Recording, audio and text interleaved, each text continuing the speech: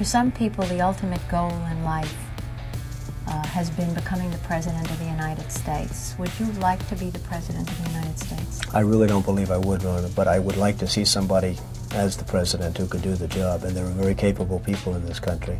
Most people who are capable are not running for office. It, Most men are frightened of politics today. It is a shame, isn't it? Yes. It is a shame. The most capable people are not necessarily running for political office, and that is a very sad commentary on the country.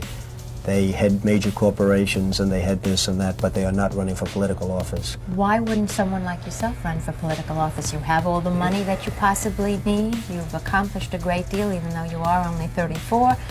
I know there's a lot of things that you possibly can do in the years ahead. Why wouldn't you dedicate yourself to public service? Because I think it's a very mean life. I, I, would love and I would I would dedicate my life to this country, but I see it as being a mean life, and I also see it as somebody with strong views and somebody with the kind of views that are maybe a little bit unpopular, which may be right, but may be unpopular, wouldn't necessarily have a chance of getting elected against somebody with no great brain but a big smile. And that's a sad commentary for the political process.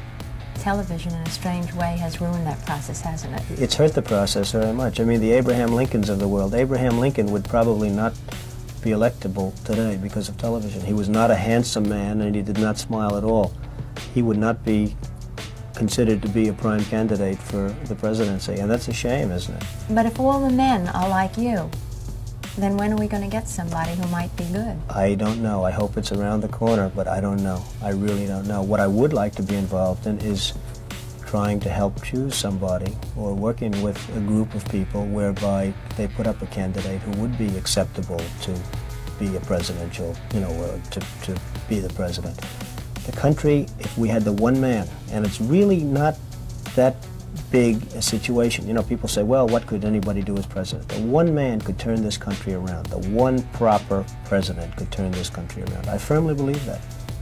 You think there is one man? There is one man that can turn this country around. I could tell you, I know a number of people that would be excellent presidents. I will not tell you who they are, but I know a number of people that could be excellent presidents of this country but they are not running for political office. They're not in political office. They're extraordinarily brilliant. They're very, very competent. Uh, they're leaders.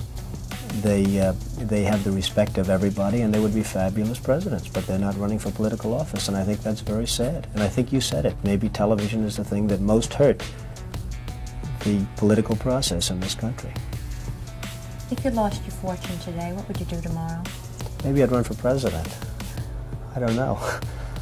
You mean you think you have to be uh, bankrupt uh, with not a dime in your pocket in order to uh, be a, a good president? No, I'm only kidding. You know, when I say that, of course, I'm being somewhat facetious. But I have to tell you, a lot of people would vote for you if you were in that position because they'd feel sorry for you. And again, I think that's a very sad commentary.